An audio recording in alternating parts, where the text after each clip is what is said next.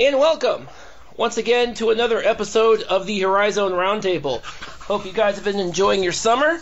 I am Bob McDonald, and as, and with me, uh, my co-host Jimmy Lemke. Hey everybody, how's it going? Jimmy Lemke, you can find on Panther U uh, at Panther U on Twitter and at PantherU.com. Um, well, uh, I'm there so much often lately.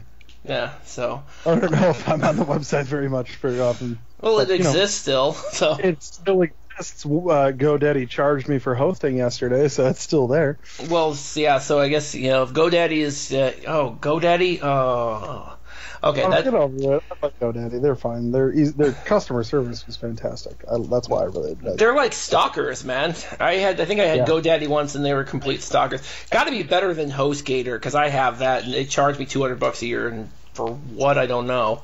It's kind of stupid, but anyway. Um, and you can uh, follow the uh, follow us on Twitter at HorizonRT. Um, Jimmy, uh, we had today. Uh, today we absolutely had to have. Uh, we had to uh, talk, and Yeah. we had to go with our go-to Detroit Mercy guy, Karic Jones. How's it going, folks? Yes. It's it's fantastic, Karic. I'm really happy that we're able to bring you on and have this conversation because Because at last- I'm Our yeah, la- exactly. national nightmare is over. Detroit Yeah. Mercy finally has a coach. Yeah, I can't believe it. Um, and I, I think the funniest thing is how quickly the narrative within our fan base changed once they hired someone. Um, it, it, it once again, I, I'm about at the point where I, I find most other Detroit Mercy fans laughable at best. Um, but as soon as Vowels said, "Oh, we were looking at him since mid-April," you know, everybody's like, "Oh, it's okay. We're not behind the eight ball. We have six players on our roster." It actually it could be five. I don't. I couldn't tell you for certain. Um, but Mike Davis has a long road ahead of him because uh, Bakari and Jermaine left uh, the program in a state of abyss. I think is probably the best word to uh, describe what's going on. I like the down word there. I like the word shambles. The shambles could be one. Yeah, Shambles is a good one too. I've been using mean- dumpster fire. That seems to work. dumpster No, fire. dumpster would- fire is our thing. Okay, fine. Dumpster fire is our thing. That is Amanda Braun copyrighted dumpster fire All right. years ago. All right. Um, well, yeah. You know what? Given given the eight month, given the two months of silence, it might be more of a like a tunnel, you know, a sewer fire maybe. You know, because it's under because it's under the because it's under the surface. You might not see it, and nobody's gonna you know nobody's gonna see it until you walk it uh, walk down to the sewer. and Nobody like wants to do that. Maybe more like a Democratic People's Republic of Detroit Mercy kind of thing. The whole pro- yeah, it, I I have engaged. Uh, I'll, honestly, I'm just kind of surprised that this finally happened. That they You got- finally you got, a got, head uh, coach. You got you got Oakland fans flying drones over Detroit Mercy's campus, dropping in flash drives with videos of winning basketball. Like, hey, you could have this again. You could have this again. You, I mean, you had they don't win very much either, though. So you're forgetting they're choke artists. Oh, I don't. Uh-huh. I don't need to forget because obviously I don't want to forget, especially after last season. Well, Yeah, they- it- they- but we got. Please, it it got to the point where Matt Dudek was uh, having a having a coaches auction on his Twitter account, which, by the way, was won by my dog Harry. By the way, so he's very Oh. disappointed that he he is very dis he was he barked in disapproval when he found out he wasn't getting the job, and I was a little disappointed because now I got to pay for kibble. Yeah. Frankly, your dog Damn is gonna bark uh, for no, no matter what the reason was. Your Well- dog doesn't need the, Yeah, no, reason. The- you're not wrong, and yeah, I make no guarantees that he won't bark again, even on this podcast, because Yeah, why not? tec- technically, I think your dog is the most frequent guest we have on the Horizon he, he, Roundtable. he married he yeah did you hear that harry you're you're the most frequent guest on on the horizon roundtable congratulations Don't get them started. no let's not do that i have two dogs i got one that i got i've got my older dog bella who doesn't bark at all and i got the and got harry over here who won't shut up so he's All right. perfect he's perfect Enough for about me. your dogs. all right Eric. so Karic, do Let her rip. you like Davis? Do yes you like or dislike the hire? I mean, I, I you know he wins everywhere he goes. mm-hmm Um, I like the hire. I wasn't really enthused with the press conference. He is a very slow talker. Uh, wow. I mean, wow. Hey, is five five ninety four winning percentage, three fifty two and two forty one. You're absolutely right. He does win everywhere he goes. I mean, it was Yeah. he was in the NCAA tournament just like a year before he got fired from UAB. Yep. Yeah, no, he he wins, and I, it seems to me that he has a plan, and he thinks he can turn it around quick. And he does have some pieces left on the roster, and then you you go in and throw in his son, who's very talented. Um, I tell you what, his son looks good. He is a real scrappy shooter. You know, he's he's six one, but he's kind of got that long, lanky body. Uh, can just drill shots from anywhere mid range or um, from the three point arc. And then Josh McFolley back too. Uh, he announced he was coming back today, so Well, that's they got a nice, nice little backcourt tandem with those two. Um, but everything else is very much in the air. You know, Gerald Blackshear's been hurt for the last two years. The Cole Long's there. Um, if you like white guys from Nova Scotia who can't hit threes, um, That's what I'm talking about. I guess the German kid might still be there. I don't know. I couldn't tell you. I mean, like it's looking like walk-ons are going to play unless this guy can pull a rabbit out of his hat. But the rumor is we're getting all of Texas Southern's recruits. So Really? that would that would put another freshman point guard in, three JUCO guards. Um, they got to find big men and quick though. Yeah. Um, and we're definitely behind the eight ball for that. I would have to think probably some grad transfers that may or may not pan out are probably the best situation. But it, it's exciting just to have somebody after not having someone for two months. Um, Yeah. And I, you know, I hope he wins because, you know, we were kind of sold a load of crap with uh, the last guy. So, That's true. and I, I feel- did it- not expect that we would be in as bad of a situation as we are now. I mean, it's it's ridiculous. I think with Mike Davis, I think I, Detroit. Honestly, I think Detroit lucked out when it, by getting him.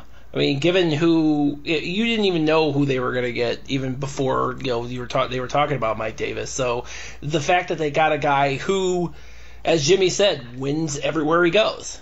I mean, and the fact that he's going to have, I mean, the fact that he's had such a success at Texas Southern. I mean, yeah, uh, yes, it's a it's a you know he, they're in the SWAC, which is you know which is famous for you know playing a bunch of you know having to travel everywhere for non-conference games and getting Oh, pounded. well, it's an it's an it's an HBCU league, Yeah. so we have to So- remember that like yeah, where, so where, where the Horizon yeah. League has problems, we're It- not nearly the problems that No. the SWAC and the MEAC have. So No, no, and that, and, and that, and you got to take that, and I take that into consideration when you talk about Texas, uh, you know, what Mike Davis and Texas Southern, and that he was able to, yeah, that he has been able, and he again, in, I think in the case of Texas Southern, that was a situation where he was hired like really late in the cycle. I think that was he was. I, I think I mentioned in one of the earlier podcasts where he was actually hired in like it was an August. August, hire. It was an August hire. that well, they had that. Uh, what was his name? Tony Harvey, right? yeah, They had Tony Harvey, and he got he like he resigned. It was it was a weird thing. It was a weird. I remember it being a weird reason he resigned. Like I don't remember exactly why. Like I don't think I don't think it ever really came up why he resigned from that job, but Mike Davis was available, Mhm. and yeah, I mean he was he was he was available. So yeah, he was Well, yeah. available and he's a good coach. So you know, getting him, or you know, getting around it. I don't know what it was. That uh, you know, I don't know what it exactly was that you know he flamed out for Tony Harvey, Mhm. but I know that it was you know Mike Davis was available, and that's kind of what it was for for him here. Is that you know you, Mike Davis is a guy who's kind of above what the SWAC is. I mean, Yeah. even after UAB, I think if he had sat around for a year, he probably would have had a better job than Texas Southern to go into. But um, you know, it was it was it was available to him, and this is maybe not exactly the uh, you know, maybe not exactly the same kind of thing, but it's something where he's, you know, it- it's something where Detroit Mercy had a had had a real need, and they needed to hit a home run because they didn't need another Bakari Alexander, where they're not 100% sure they got a, a guy that, you know, maybe they're sure, but they needed a guy who can who can win and can prove he's proven to win. So they kind of needed to get something, and you know, my, as far for being so late, I think even if this had happened at the Final Four, I would have thought that Mike Davis would have been a pretty good hire for them. Yeah. So I think that Vowels, I think uh, Detroit Mercy did a heck of a job, you know, finding their coach. Did did it take a while? Yes. Yeah. Did they have some missteps along the way? I'm sure, but you could do a lot worse. Uh, yeah. For anybody who's curious, the reason I said that Tony Harvey flamed out is because Tony Harvey's now an assistant coach at UIC. Oh, okay.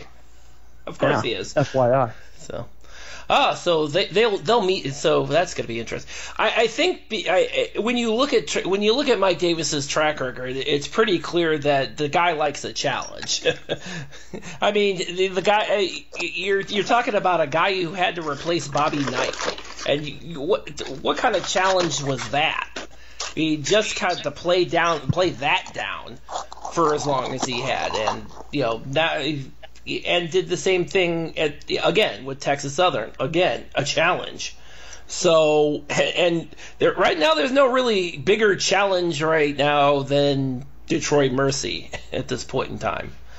Um, I mean, yes and no. There's obviously there's inroads. I mean, Yeah. it's a good recruiting territory. mhm. You know, we're not that poor. Um, and, and contrary to what Matt Dudek believes, the ring is not that bad. Um, you know, they, there's there's things in place. I think the hardest thing for him is going to be how does he transition this year because they're so late. Um, I, I don't know who's even available. Yeah. You know, even if they get the Texas Southern recruits, that still doesn't really help with the fact that they don't really have any big men on the roster.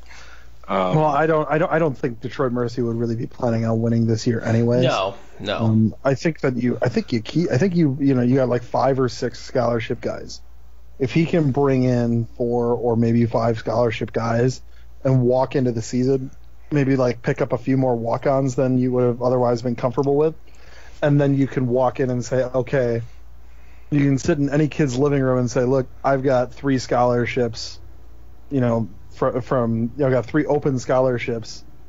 You're transferring out of your team at break you want to, you know, you you you fall of 2018, you decide you didn't want to be at your school anymore, but because you played, you're not going to be able to. You you want to transfer, you want to be on scholarship somewhere. I have a scholarship open for you right now.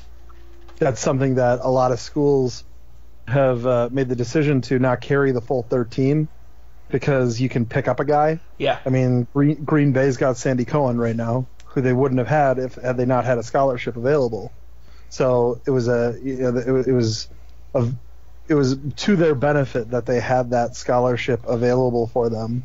Um, I know we've done it a couple times, and I know that Detroit Mercy is in a unique spot right now where Sure. they can kind of just let this season, upcoming season, kind of just they can just take their lumps, maybe pull in those guys, but be like, look, I've got starting spots open next year. This is a this is a program where you know we have we have lofty expectations, and it's we're a conference that is down, and we can we can step in and put some things together and win a title in the 1920 season if we do th- everything enough enough right. I, I honestly believe that if Mike, you know, Mike Davis can turn it around quick enough where he can win at that level that quick. I think he could. I think he could have a Detroit Titans team winning or sharing a conference title by the 2020 season, and that's that that that's the kind of turnaround that's a that you know can be afforded them right now, and part of it is not having 12 players on scholarship, as we've seen over here in Milwaukee. I mean, we've lost you know we lost some strong players both Jeter recruits and Val Jordan recruits. Uh, Val Jordan recruited Jeremiah Bell, um, Bryce Nze and Brock Stull being Rob Jeter guys, all three of those guys are are gone now. So, but Pat Baldwin had to coach them that full year, that first year. So now you know that anybody who's around, if if you really need to, if, if there's a bunch of people who don't like how Mike Davis coaches, a lot of those kids are already gone. So it's it's not quite a blank slate, but you know that most of the guys that Mike Davis will have in year one, most of them are going to be guys he chose to be there, and they chose to be under him. So you know that you know that Davis has got a blank enough slate, and he's a good enough coach, and there's a and like Karic said, it's a it's a good enough recruiting area that, and they they they have the scholarships available where if you play it right, you know you're going to take lumps in 2018-19, but Detroit Mercy's a team that could, you know, turn around and make a run at a title just the following season. Yeah, and the big transfer on the market right now is uh, from just down the road at U of D Jesuit. Uh, I can't pronounce his last name right, so I'm not even going to try. Uh, but Greg, one of the big Nigerian kids they had, is leaving Illinois. Um, and that is a guy who we're rumored to be after, which wouldn't be surprising, uh, you know, given that he's from right down the street. That would go ahead and fill your huge uh, big man hole in your second year because he's 6'10 um, and he was good enough to go to Illinois. So if they can land a guy like that, I don't know if that's the route Mike Davis is going to take, but we'll find out. Yeah, I think with with the situation, you know, to Jimmy's point, you know, it, it, was a it's it was a foregone conclusion that this this season was going to be mm, was going to be it's a transitional season. It's a throwaway hey, year, but and, you knew that. And, and, but they knew that honestly, going in. But but who who knows? That's you. Know, this conference is so down so often. You never know when like NKU's going to slip up or Wright State's going to get upset by somebody in the conference tournament or Oakland's going to do what Oakland does. So you just you never know when that opportunity is there. I mean, hell, we're we're what 15 months removed from Youngstown State being a couple points away from the conference title game. I mean, that's that's really we were we were we were a few shakes away from having a nine versus a ten in the conference championship game. You and, were, you know, in we, Motor City Madness. So and we're three months removed from Cleveland State being in the conference championship game exactly. as a nine so, seed. So there's literally no nothing that stops, you know, a Mike Davis coach Detroit Mercy team from maybe being that team that makes the surprise. So I don't want Detroit Mercy fans to hear me saying that this is a throwaway year and think, well, screw that guy. He's not giving even this team a chance. Uh, what I'm saying is that like they could walk into 2019-20 as a team expected to challenge for a conference championship. That doesn't mean they're precluded from doing it again. There would but have to be a guy, lot for for this, that to happen. This is a guy that wins quickly. Uh, when he took over at Indiana, obviously it was a, a situation where you know it was it was a it was a different situation with Bobby Knight, but he didn't fall off. And year two, they went to the Final Four. At UAB, he took over. They had a rough year in 06, 07, and then the next year, they were boom, they were right there they were right there at the top of, C, of, of CUSA. At Texas Southern, he took over. It was it was a late in the year thing. They were already one of the better teams in the SWAC, but he, you know, he kept that that ship online. You know, they, he kept that ship heading in the right direction, and then he hit the ground running. And he had what, what did they have four NCAA tournament appearances yeah, in his four. six years there? I mean, this is a guy who hits the ground running. And this is a guy who, you know, we talk about we talk about the kid from UD Jesuit who's transferring out of Illinois and he's he's able to go into the, go to that kid and say, "Okay, you want to you want to go play for a coach who can who can help you win and maybe you won't maybe you're not going to get to that high major or even that major level I'm at a mid-major school. I have the opportunity for you, and I've been there.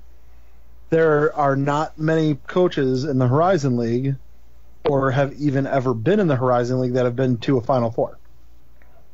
and I, I would put Mike, Mike Mike Davis may not be Brad Stevens, but he's more Brad Stevens than Rollie Massimino, if you know what I'm saying.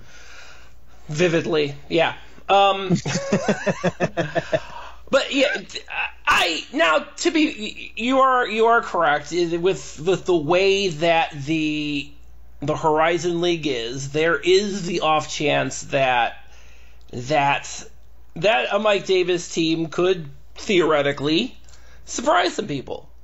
But honestly, I, I just there, there would have to be a lot happen for that to be to be the case this year. Next year, on the other hand, next year you, especially given the fact that you have so much roster turnover, you're gonna have so many new fa- that you have that you're gonna have so many people coming in, yeah. and you're gonna have so much so much of a transition, and they're going to be all they're basically going to be all Mike Davis's guys at that point.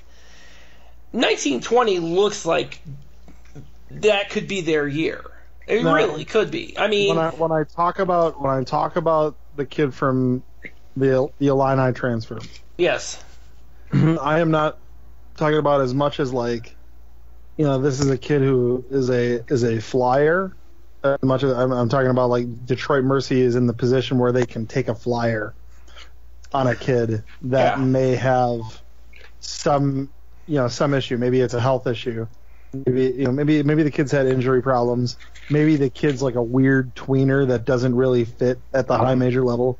Maybe the kid is uh, maybe the kid's a, a, grade problem. Maybe the kid is a, a, a behavioral problem. And Mike Davis being a guy who worked for Coach Knight thinks that he can turn the guy around. Either way, if if Mike Davis has a spot available, which he's got many, he can take a flyer on one of sure. these kids. So what what what's attractive to me if I'm Mike Davis looking at the Detroit Mercy job is that you're you're basically given this uh, this this mold of this this clay hunk of clay, and you've got the mold, and you can do with it whatever you want. There are not a lot of schools that are, are like that. You know, when Val Jordan left us, Pat Baldwin had a roster that was, uh, you know, it was slimmer, but he didn't have the flexibility that Davis does at Detroit. Also, because Detroit Mercy is a private school, you're able to do some things that we're not able to do, that most of the conference isn't able to do. So there's there's some flexibility there that they've got where a coach that can a coach can walk in there and if he knows what he's doing, hint hint Mike Davis, he could he could le- legitimately put together some some strong you know, you can legitimately put together a strong team in a year. And yeah, of course, 1920 has a better outlook than 1819, depending on who they get. But the, the, what matters most is that Mike Davis has the flexibility to do with this roster what he wants. And he will. what'll be interesting to watch is his best player from Texas Southern was an All-American as a redshirt sophomore. Demontrae Jefferson has is rumored to be considering transferring to sit out a year to play one year. Which is funny because uh, at one point in time, Demontrae Jefferson was supposed to go to Cleveland State.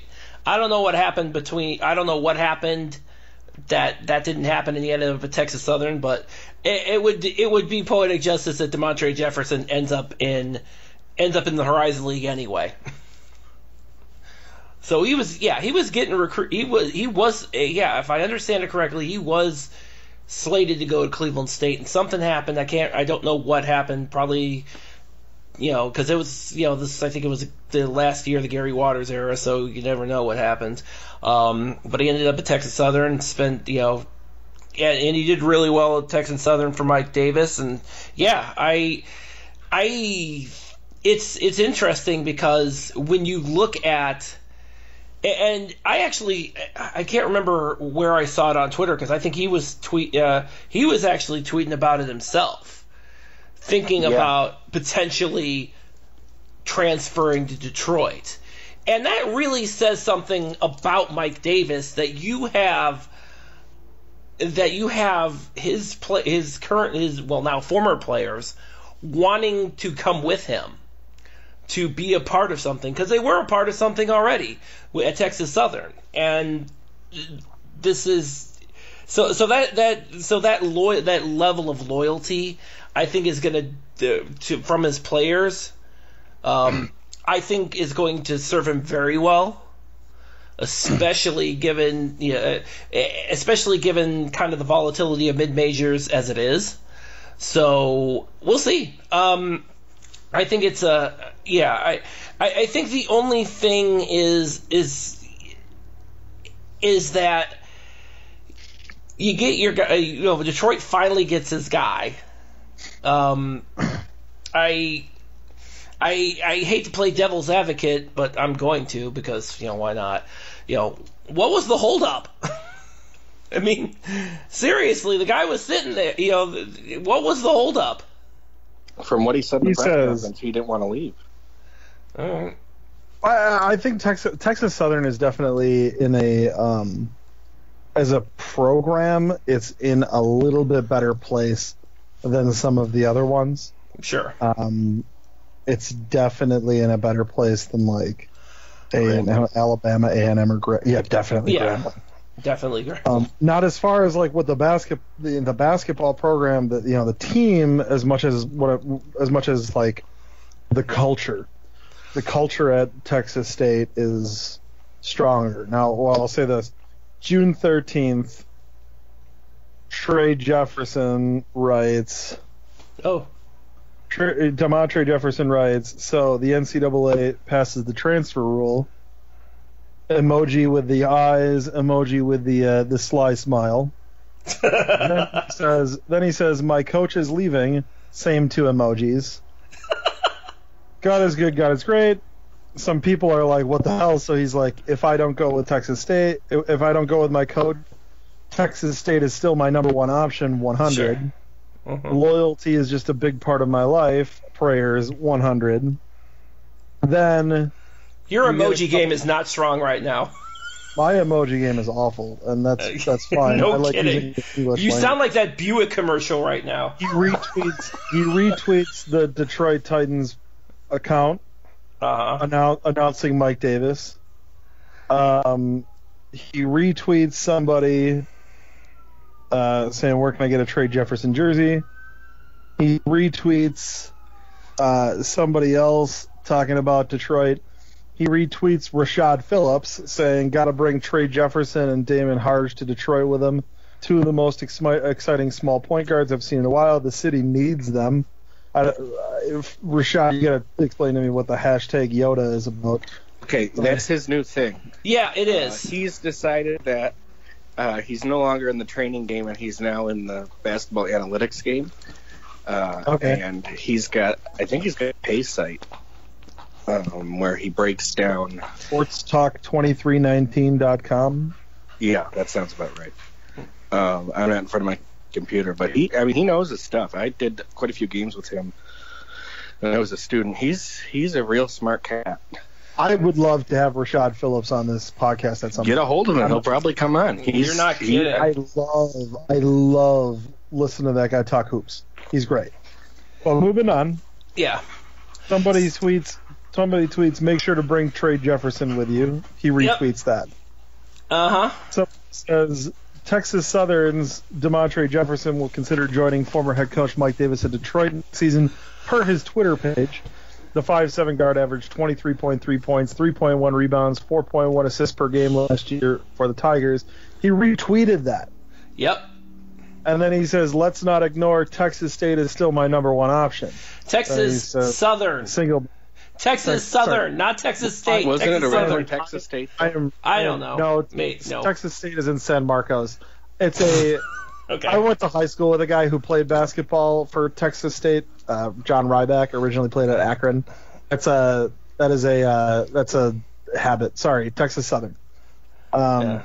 apo- apologies to the Bobcats in San Marcos for confusing you guys with Texas Southern, but Actually, I was Texas- thi- every time you said that, I was thinking of the movie Necessary Roughness from like the old from the Yeah. '90s and stuff, with with Scott Bakula playing the 30 quote unquote 35 year old quarterback. I, I also like uh, Sinbad as the professor coming back to play defensive line. Uh, I, I one one thing a lot of people may not realize: Jason Bateman. He as was. the, uh, as the running back slash uh, the big time donor's kid. Who who couldn't shoved- read? kinda I think it was the problem.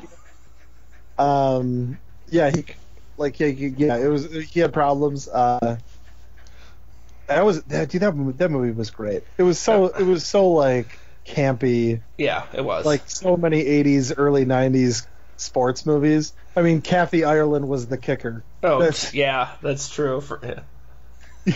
you know, but but it's you know, welcome to football. Like it's just so stupid, but it was.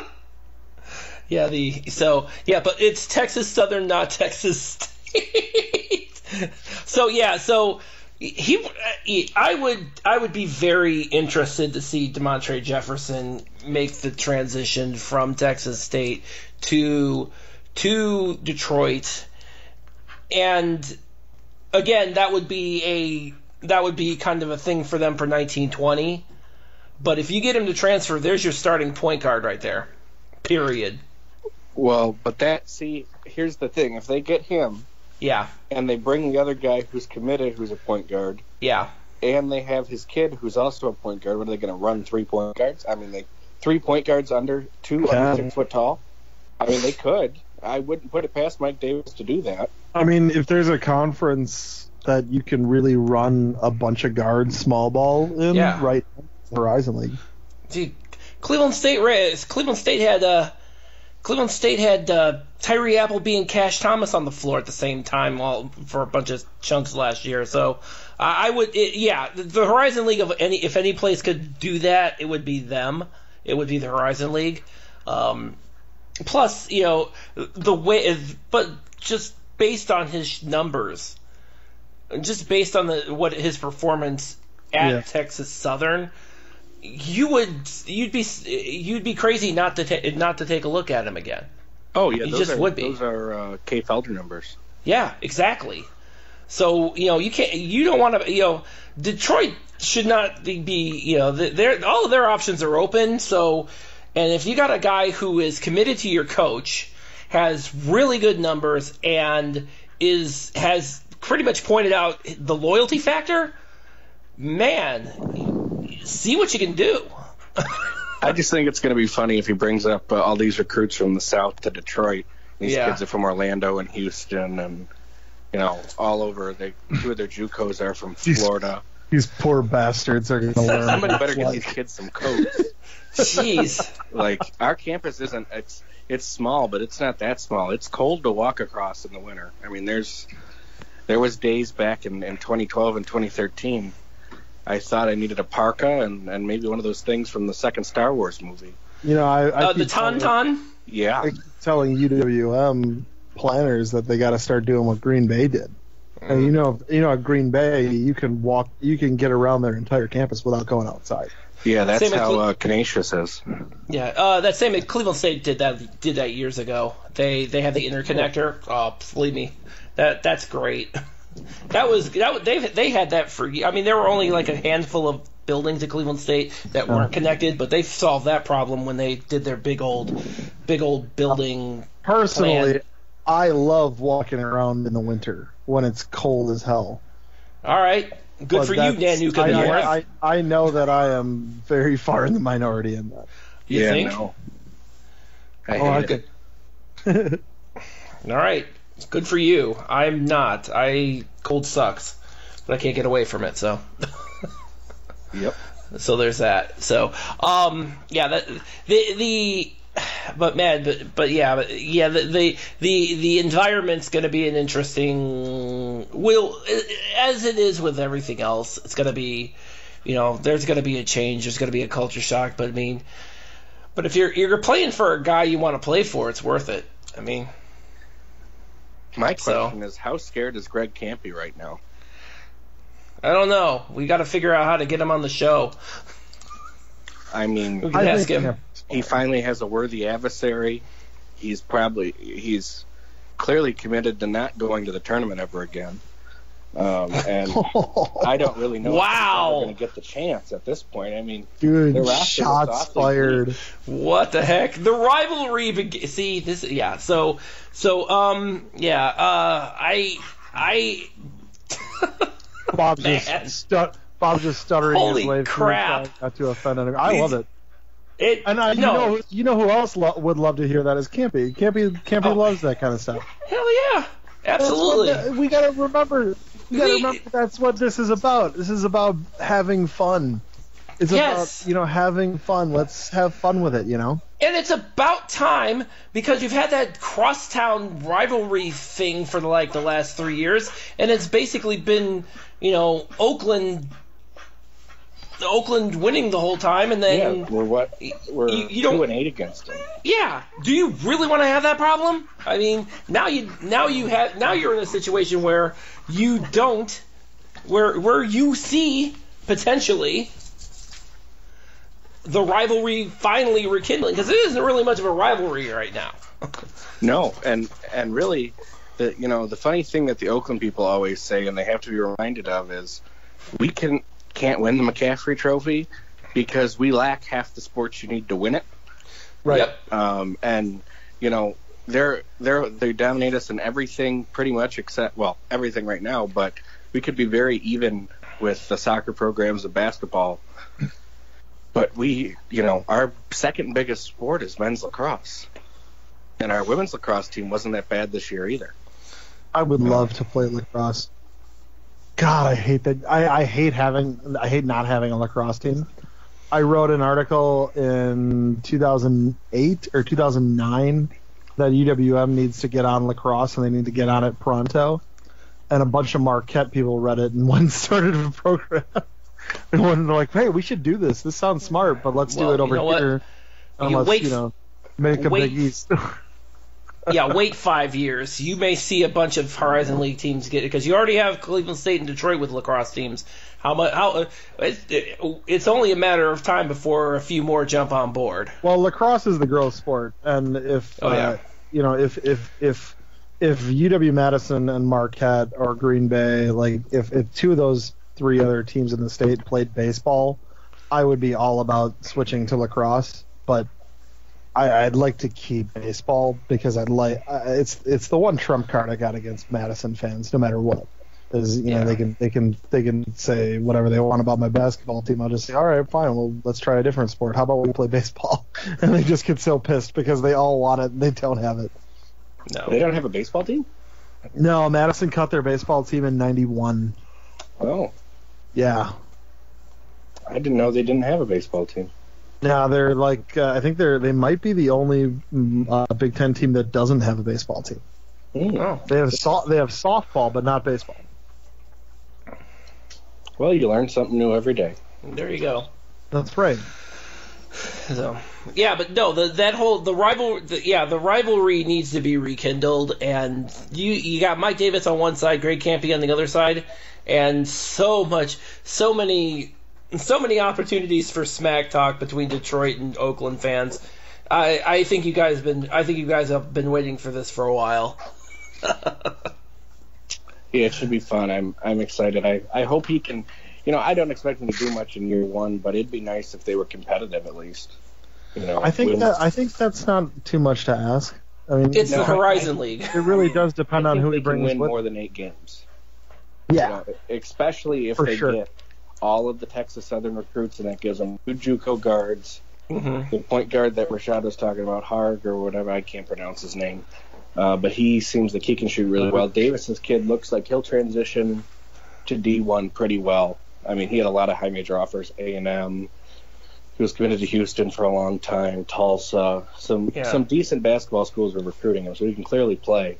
Um, and then you got Sure. Josh coming back, and, and Josh has been a, a 15 to 20 point a game guy the whole time he's been in college. It, it's good that McFolley is coming back because if he wasn't, I mean, Well, here's was the thing everybody who's that leaving. people don't realize his mom works at the school Oh, or works for a nonprofit connected to the school. nice. So I don't know if it's just in the neighborhood or if it's connected to U of D, but I found that out just searching through the Detroit news comments because she was yelling at Tony Paul for saying he was transferring. Um, when he wasn't. So I mean, she's already in the area. That that probably has a big big part to do with it. And if Gerald is a shell of what he was his freshman year, that you know they got some players. So you know I think winning nine ten games probably isn't that hard considering you've only won eight the last two years. Um, and some of those were I'd say probably a half of them were just bad coaching. I mean, it Uh, says something when your head coach was suspended and you won more games suspended than you did with him there. It definitely says to me that the players didn't want to play for the guy. Well, you know, you can't be telling people, uh, you know, they need to suck certain things. It's just inappropriate. Oh, jeez, yeah. It's just inappropriate, and Uh, yes, it is. Yes, it is. it's it's too bad that uh, you know someone who prides themselves as such a Christian. Is going around telling people that. You know, it's. I don't think the guy's ever going to get a job again, and I feel bad for him because he seems like a really nice guy. But I, I, I coach at the high school level. I aspire to coach at the college level. I've never once thought of that coming out of my mouth, uh, or anything even remotely close to that. so the no, that's that, that's not good. that that was a thing, and then that it got to the paper, and then the school didn't address it because it's U of D. I think that's that's the funniest thing about this whole thing is The radio fired- silence. the radio silence about everything. Like even when I was in school, you could always get tidbits from players and stuff, and I think that's why you know when Jeremiah was the SID and and PJ a little bit, um, but I worked for him, so we have a better relationship. But me being such good friends with CB and, and knowing Chris Jenkins and being friends with uh, McCallum Jr., I was able to pretty much know what was going on all the time. Where now it's either people don't care, which could be part of it, or they've really kind of tightened up the ship a little bit. Um, but even like when Paris Bass was falling apart, like that was public knowledge to everybody who went to the school. Shit, that was public knowledge to a lot of us who didn't go to that school. No Yeah, kidding. I mean, I just I don't know. U of D is really weird, and even the press conference like was weird. They said one of my buddies that was covering it said he goes, it was like all the media people were there, and then they get their little bits of footage, and they're just they just leave. Like two or three people had in-depth this is interviews for with him. the. and that's. Uh, this is for Mike Davis's in like introductory press conference. Yeah, Yeah. Like there was probably only twelve people there, at least media people. I mean, I'm sure there's there was over fifty or sixty. They probably got people that have nothing to do and don't even know we have a basketball team to come and sit there. But I don't know. U of D is in a weird spot, and it got weirder for the five years I was there, and I've heard in the last two years it's only gotten weirder. So I'm interested Lovely. to see what Mike Davis was so excited about. Obviously, probably the chance to win at a different level, and you know they have money and whatnot. But I mean, coming from somebody who was the student body president, I I really have not been happy with how the university has managed itself and presented itself in the media the last two years, and you know going two months without a coach and then it getting like leaked six times.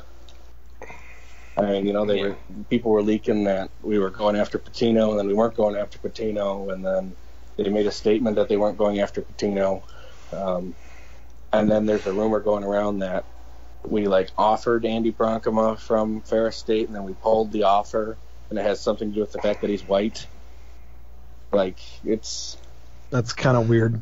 Yeah, More and, than somewhat, yeah. And the I mean, I get, I, I, I, I- I get some of it, but go like ahead. now they're saying Terry Foster came out on his podcast and said we didn't offer Bronkema, and Bronkema was the one who's saying we didn't offer him.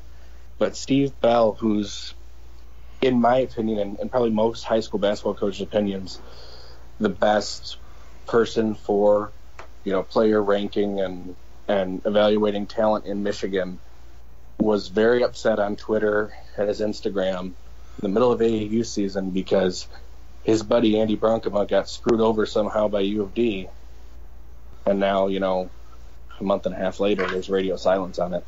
That's probably a story that will eventually come out and is probably going to be really good because I'm pretty sure the exact wording of the tweet was, you know, I thought all that racist stuff went away in Detroit in the 80s.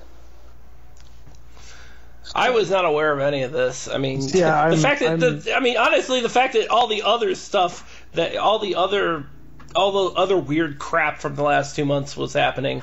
I mean, that It, I mean, I get it. I, I, I'll, I'll say this. I will say this. I, will say, I- I, I get it. If somebody, if if if like UD, if Detroit Mercy wants to look at like hiring a coach, and thinks that hiring a, a black coach would be more pal, uh, I don't know about more palatable, but more of like a, it would be it would be easier for the area uh, the area recruits to kind of like accept.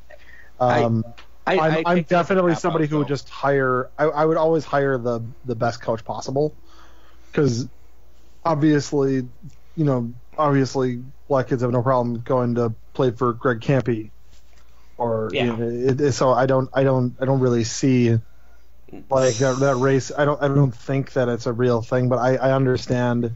No, I don't think it is either. But Yeah. I, I just found Yeah. it interesting because that's not the first or last time I've heard that. And I mean, it's not the first; it's not going to be the last time that I've heard something along those lines involving U of D and, and athletics and administrative positions. And and having been in one of those, um, I mean, that's how we ended up with Val Jordan.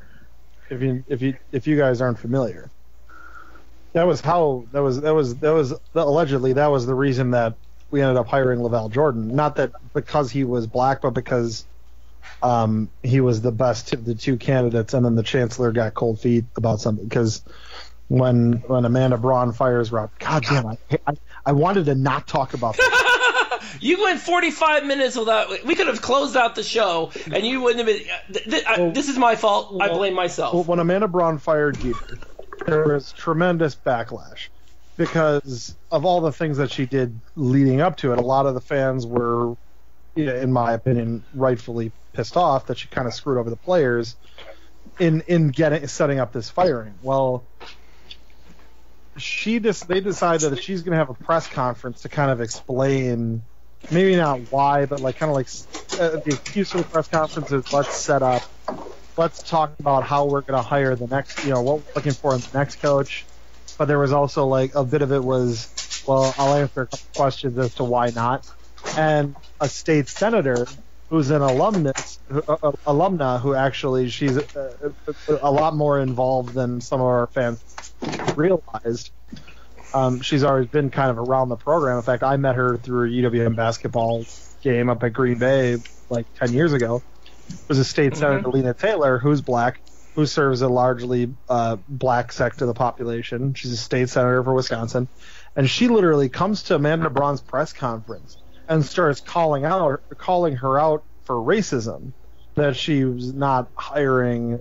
That that she was that she fired Rob Jeter, the black coach, so she could hire T.J. Otzelberger, the white coach, and that that and that she always hires white people, which funny enough, is actually there was a little truth to it. Now, Amanda Braun's not a racist. At least I I, I, I don't think that she is. besides But- of all the other things that are wrong with her, you can assure us without beyond a reasonable doubt that she's not racist. I, I, I I would like to Uh. I would love to believe that Amanda Braun is not racist. I would love I think that it's more that Amanda Braun just wasn't paying attention and didn't Yeah, realize that that, of the 40 of the 45 uh, employees she had in the athletic department that when she fired the men's basketball coach she would be down to one black employee at a university that represents uh, a city of 44% black population. Maybe she maybe she wasn't like paying too much attention to it, but she got called out for it. Well, Amanda Braun wanted to hire TJ Otzelberg. We knew this right away because Amanda Braun had um, Amanda Braun had followed TJ on Twitter in like November of the 15-16 season, several months before she fires Jeter. So we always like we knew she was going to go hire him, and honestly, as much as TJ had the reputation of being one of the biggest cheaters in college basketball, I was fine with it because he's a Milwaukee guy, and I've, and Milwaukee reached its greatest heights under a guy who's uh, who's an unabashed cheater in Bruce Pearl. So I, I I'm personally, as long as it's like things that I'm fine with, which is like, what yeah, kind of cheating are we fine with up there? uh, what? Are oh, bags of cash are okay, but but not prostitutes? Is that how it works? Oh, jeez. well, let me. I, I there, there's a time and place to talk about Pearl's girls, and it's not tonight. tonight. No, it is definitely not. In fact, on that note, No, I, I, I just want to say that the chancellor made the decision. Amanda Braun, he told Amanda Braun he was going to hire T.J. Otzelberger. She tells T.J. TJ's on his way in from Ames, Iowa, to take the job, and at 11 o'clock at night, uh, Chancellor Mone calls Amanda Braun and says, "You know what? I changed my mind. I'm going to go with LaVall Jordan." And she had already told the guy. She had told people in the athletic department, "We're hiring this guy." They were planning, like, putting everything together because he was going to have a press conference like the next day. he had his kids asleep in the back of the car, and Oh, this is and she had to make the call. Like, you know, I'm really sorry, but the chancellor changed his mind. And a lot of people think that the reason he changed his mind was because uh, he didn't want to be seen as hiring this white coach right after a state senator was shouting racist at his athletic director. So it race it it comes into play, even though like I'm I'm of I'm of the belief that you always hire the best person for the job. It doesn't matter what race. If it was a if it was a you know a a green a, a green person transgendered uh, Hindu from Mars, I don't care if they're the best person for the job. They're the best person for the job. It doesn't matter to me. But I I know that sometimes like I, I I know that some coaching staffs will fill out a staff and make you got to make sure that like they will say, you know, I want to make sure that we hire black people, a black guy because you know sometimes recruits are not comfortable with a white guy coming with with a staff that's entirely made up of white guys or maybe they're not entirely comfortable of a white head coach or something. I think it's ridiculous because I like like you were saying, I think it's it's something we should have moved past. But I, I, I understand that it, there there may be the feeling of that from other places. I don't. I, I, I would hope that it's not the case that we just we we, we move past it, but I know that I know that that sentiment is out there. So it wouldn't Yeah. it wouldn't surprise me to find out that this Ferris State, uh, that the coach at Ferris State, ended up you know getting courted and then turned away from because he's you know a white guy and they wanted a black guy as the head coach. Like that wouldn't be a surprise to me. And, oh, and on the same oh, coin, Say- Go ahead.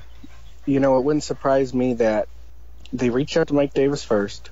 Mike Davis told him, "No, I'm not interested at all. Leave me alone."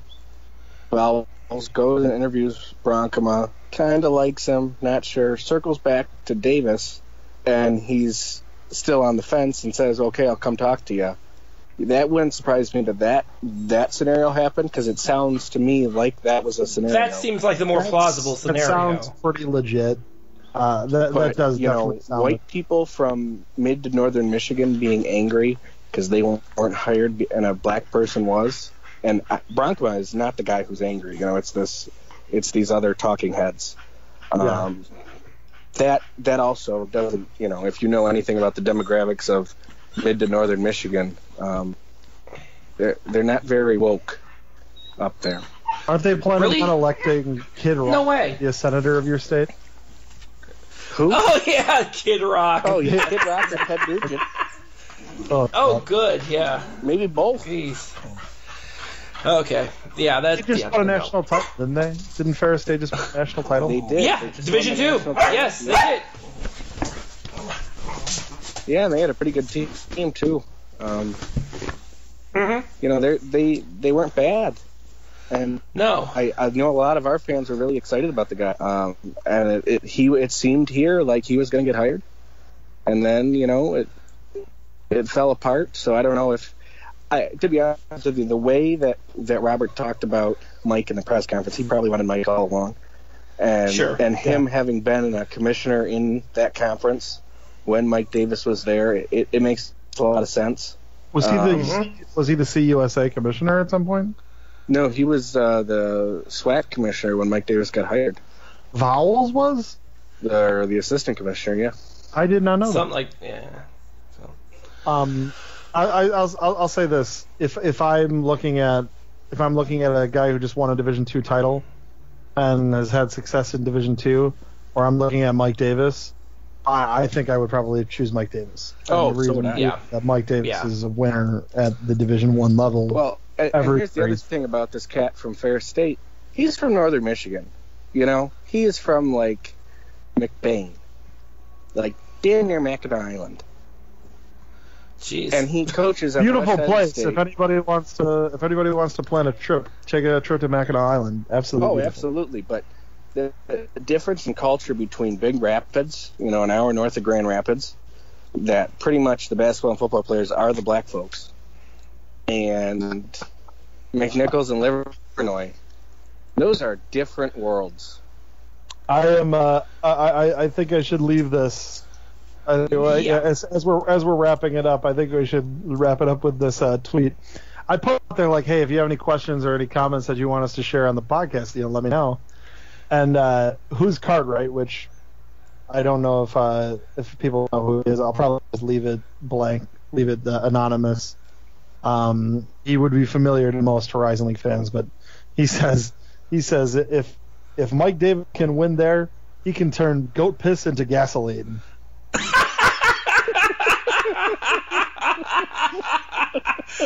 oh, that's priceless. that sounds about right. Well, I own that guy up here, by the way. Just Yeah, because So. I hadn't seen for. But yeah, it, it's there's there's cause optimism at Detroit. Mercy. Yes. There- clearly is. So. There's cause for optimism, and I think this is a program where a lot of fans really see um, their future as a future in the like Atlantic 10 or in a conference at that at that level. I I honestly do not feel like that is a huge stretch. I mm, I think well, So- uh, if you listen see to me. their financials, it is. Okay. Yeah, but I'd like to see what you know. I'd like to see if if if they can have a similar like a Loyola similar level of inve- investment from a few. Maybe. Well, and we have some some donors who uh, Yeah. are getting up there. You've got some True. big doctors who may want to do. I mean, the, the Loyola going to the Final Four this year was exactly what those Loyola fans who gave a pooled 100 million dollars to the athletic department at that university. It's exactly what they were looking for. Was and they they wanted a shot at a title before they um, to you know not to be blunt but kick the bucket. You know, Yeah. they, they they they put them together and said let's do this. And Detroit has those people, like Karic said. Detroit has those Yep. people, and now is the time for a, a basketball coach and really an athletic director to put together and say, look, Loyola is a program that was one of our our chief rivals for a long time. They are a fellow Jesuit school. This is a school that we can we can not just emulate, but we should be able to. And the reason they were able to get to where they got was because of that initial major investment from their alumni. So if you so what we need to do is put together a plan to you know renovate Calihan Hall into a a good home for a strong home for the 21st century.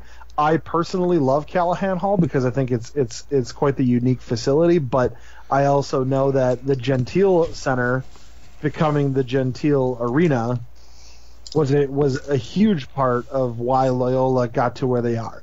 And I think Porter Moser is a heck of a great coach, but I also think Mike Davis is a heck of a great coach. And if they if they True. put together the plan and they can keep him Mhm. around, they may be able to swing that kind of kind of a jump in the program that can get them to an Atlantic 10 or you know get them to a you know maybe maybe they want to be go, go to the MAC or something but it's I I, I think that uh, a lot of Detroit fans have lofty goals for the program and I think that's good and I All right. think that Mike Davis is the right coach and they just need to get the rest of the program around him and Mhm. you know pushing to the future Absolutely. All right. Yep. So, all right. So on that note, we're gonna have and close it out. Uh, Karic, we know you're over at Karic underscore Jones on Twitter. Mm-hmm. Yeah, absolutely. Thanks for coming on. Anytime, Appreciate guys. it. thanks of course All right, and uh, as always, uh, we're at sportshax.com, uh, sportshax.com, and we you can find the podcast wherever you uh, find podcasts. And yeah, I'm not going over the list because we do it every episode. You know where we are. Just do a podcast search. So, all right, we'll see you again. Uh, we'll see you again soon, and uh, thanks for listening. take care